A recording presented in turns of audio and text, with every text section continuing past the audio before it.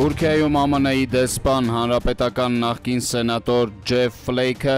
ով Ջո Բայդենի կողմից էր հուլիսին առաջադրվել Անկարայում այդ պաշտոնում, զգուշացրել է Ռեջեփ Թայիպ Էրդողանին ռուսական արտադրության S400 հակաօթային պաշտպանության հրթիռների երկրորդ խմբականակը գնելու դեպքում, ինչը սպասվելու Թուրքիային։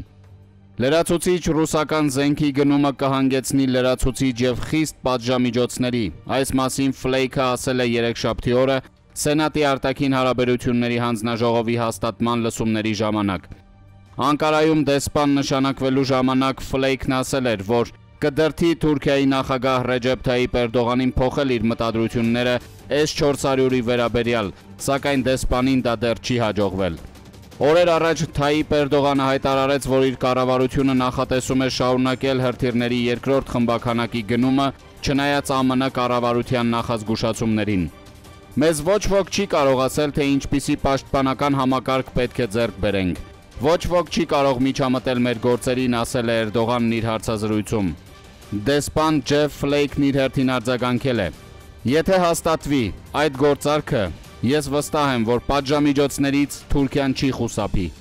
Ես նորից զգուշացնում եմ Թուրքիային, որ ռուսական ցանկացած զենքի գնումն այսուհետ կստանա խիստ պատժամիջոցների պատասխան։ Յենի Սաֆակ թերթի սյունակագիրը թերթի անգլիական տարբերակի համար հոդված է գրել։ Ինչու է ԱՄՆ-ն տանկեր կուտակում Հունաստանում զորավարժությունների անվան տակ։ Թուրքիան նպատակ է Բյուլենտ Օրակողլուի խոսքով վերջին շրջանում Պենտագոնը տեղակայել է առնվազն 400 տանկ եւ ավելի քան 1000 զրահամեքենա Թուրքիայից 60 կիլոմետր հեռավորության վրա գտնվող քաղաքում, ինչպես նաեւ 30 կործանիչ Ալեքսանդրապոլիսում։ Դա ցույց է տալիս, որ ԱՄՆ-ն կամ մկաններ է ցուցադրում Անկարայի արչև, կամ մտադիր է հարձակվել Թուրքիայի վրա, նշում է նա։ Փորձագետը նաև կանխատեսում է Թուրքիայի եւ Հունաստանի միջև արկա լարվածություն արևելյան միջերկրածովյան եւ Էգեյան տարածաշրջաններում։ Քանի որ Աթենքն ու Վաշինգտոնը հող են նախապատրաստում Եվրասիայում եւ հյուսիս-հարավ առանցքով վտանգավոր խաղի համար, պնդում է Օրակողլուն։ Ընդ որում թուրք փորձագետը խորհուրդ է տալիս հույներին չվստահել ԱՄՆ-ին, հատկապես Բայդենին, գրում է քաղաքագետը։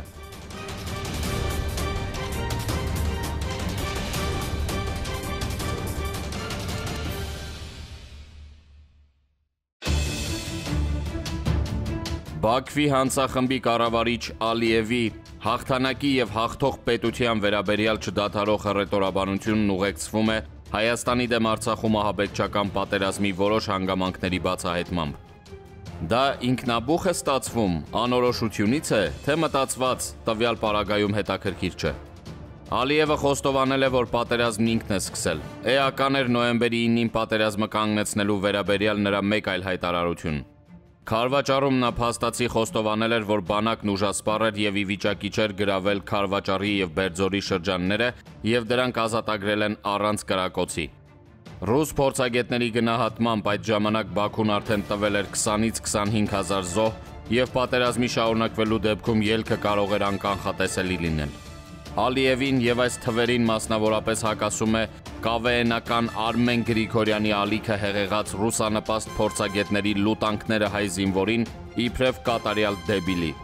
Անդրադառնալով նոյեմբերի 9-ի թղթի ստորագրմանն Ալիևն ասել էր, որ Պուտինը խնդրել է իրեն չստորացնել Փաշինյանին եւ իրեն հայտնի չէ, թե որտեղ է գտնվում Փաշինյանի ստորագրած փաստաթուղթը, իրականում լաթի կտորը։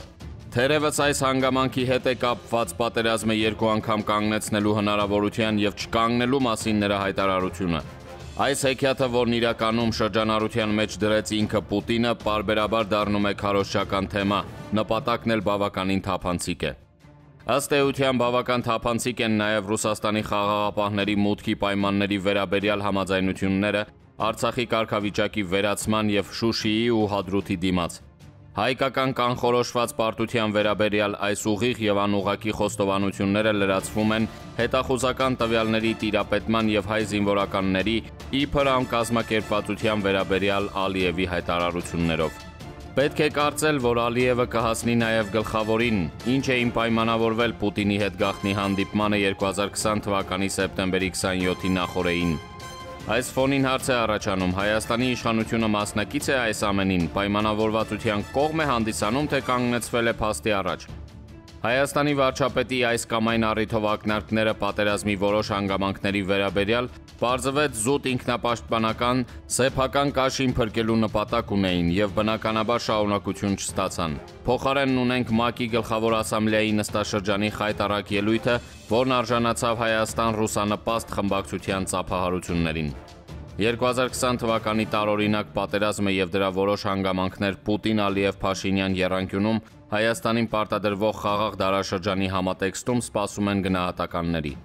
Պատերազմական հանցագործությունների համար պատասխանատվության հերանեկարը դրա նախաձեռնողներին դնում է բավական երկիմաց դրության մեջ, ստիպելով կանխարգելման ռեժիմով բացել որոշ հանգամանքներ։ Եվ որքան իրական դառնա այդ հերանեկարը, այնքան ավելի լուրջ բացահայտումներ են լինելու։ Առավել եւս, որ հիմա բոլորի համար པարզ են ռուս-թուրքական համաձայնությունների նպատակները։ Հայերիս մնում է բռունցքել կամքը եւ պատրաստ լինել շրջադարձային զարգացումների իբրև գործուն մասնակից, անշուշտ։ Մարդիկ պատրաստվում են։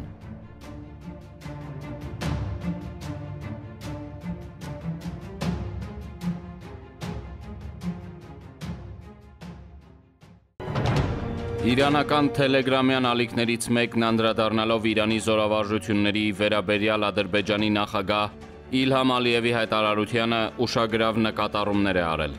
Մի քանի օր առաջ Ալիևը մեղադրել եւ քննադատել էր Իրանին Ադրբեջանի սահմանի մոտ զորավարժություններ անցկացնելու համար։ Երբ այդ սահմանները հայերն էին վերահսկում, այնտեղ ոչ սիրիացի ահաբեկիչներ եւ ոչ էլ Իսրայելի հետախուզական կազմակերպություններ չկային, գրել էր Ալիքը։ Նշենք, որ Իրանի Իսլամական հեղափոխության պահապանների կորպուսի գլխավոր հրամանատարի տեղակալ Սարդար Ֆադավին լրագրողներին տված հարցազրույցում սարկազմով է արձագանքել Ադրբեջանի հետ սահմանին ԻՀՊԿ-ի զորավարժությունների վերաբերյալ Ադրբեջանի նախագահ Իլհամ Ալիևի պնդումներին։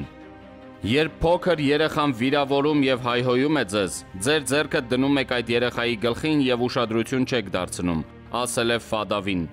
Հիշեցնենք, որ Իրանը-ադրբեջանական հարաբերությունները չափազանց լարված են ադրբեջանցի քաղաքական գործիչների հակաիրանական հայտարարությունների, ինչպես նաև Իրանի սահմանին Արցախի գրավյալ տարածքներում Իսրայելի ակտիվության աճի ֆոնին։ Հիշեցնենք, որ Իրանի արտգործնախարարության խոսնակ Սաիդ Խաթիբզադեն պատասխանել է Ադրբեջանի նախագահ Իլհամ Ալիևին մասնավորապես ասելով.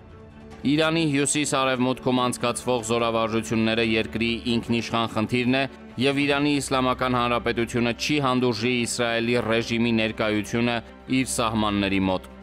Սաիդ Խաթիբզադեն նշել է, որ զարմանքով է ընդունում Ադրբեջանի Հանրապետության նախագահի հայտարարությունները։ Իրանական տելեգրամյան ալիքները հրապարակել են հերթական տեսանյութը, որտեղ Իրանը շարունակում է զինտեխնիկա տեղակայել երկրի հյուսիս-արևմուտքում Ադրբեջանի հետ սահմանի մոտ։